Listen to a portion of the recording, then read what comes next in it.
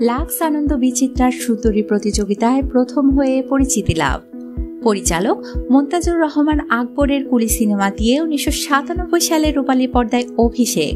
অতপর দুই চোখেরও বেশি সময়ে দেড় শতাধিক ছবিতে অভিনয়। অভিনয় দক্ষতা দিয়ে দর্শকের মন জয় করে তিনবার জাতীয় চলচ্চিত্র পুরস্কার প্রাপ্তি।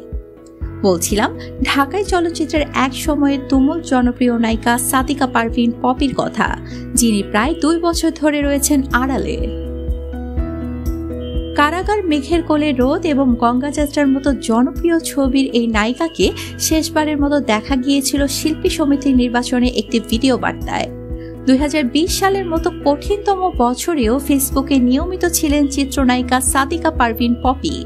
সেখানেও নেই এখন। গুঞ্জন মিলেছে পপি বিয়ে করে রাজধানীর বাড়িধারা ডিওএইচএস এর বাসায় উঠেছেন। এর মধ্যে আবার শোনা গেল সেই সংসারে ভাঙনের খবর। বাড়িধারা ডিওএইচএস থেকে পপি চলে গেছেন বনশ্রীর বাড়িতে। এই সবই মিডিয়ার পাড়ায় ভেসে বেড়ানো খবর। করোনা ভাইরাসের কারণে শোবিস থেকে দূরে ছিলেন পপি। সেই বিরতি ভেঙে তিনি কাজে ফেরেন রাজু আলিম ও মাসুমা তানির যৌথ পরিচালনায় ভালোবাসা প্রজাপতি নামের একটি সিনেমায়। শুটিংও করেন কিছুদিন, কিন্তু তারপরেই সব বন্ধ করে মাঝপথ থেকে অদৃশ্য হয়ে যান পপি। এরই মধ্যে উৎসুক অনেকে পপির বাসায় খোঁজ নিয়ে জানতে পেরেছেন তিনি বাবা মায়ের সঙ্গেও থাকছেন না। এজন্য তার বিয়ের গুঞ্জনটি আরও ডালপালা মেলেছে। কেউ কেউ তো বলছেন, বিয়ে করেছেন বলেই নিজেকে আড়ালে নিয়ে গেছেন পপি।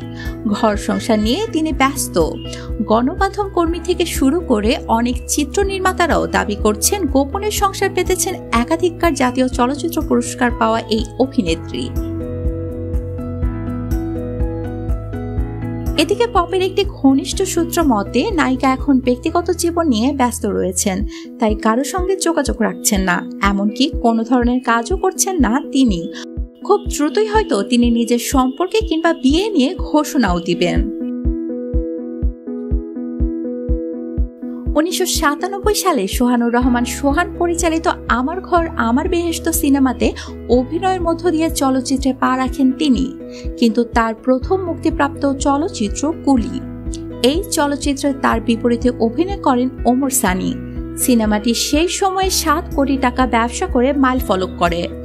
এরপর উনিশশো আটানব্বই সালে রিয়াজের বিপরীতে বিদ্রোহ চারিদিকে, উনিশশো নিরানব্বই সালে মান্নার বিপরীতে কে আমার বাবা এবং লাল বাদশাহ, দুই হাজার দুই সালে কমল সরকার পরিচালিত খ্যাপা বাসু এবং বাবুল রেজার ওদের ধর সিনেমাগুলো ব্যবসা সফল হয়।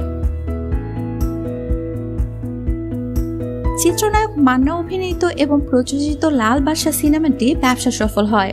যা তার অভিনয় জীবনে বড় পরিবর্তন নিয়ে আসে। একে একে তার সাথে অভিনয় করেন বাইশটি সিনেমায়। চলচ্চিত্রে অভিনয়ের পাশাপাশি টেলিভিশন নাটক এবং টেলিফিল্মে অভিনয় করেছেন এই জনপ্রিয় নায়িকা।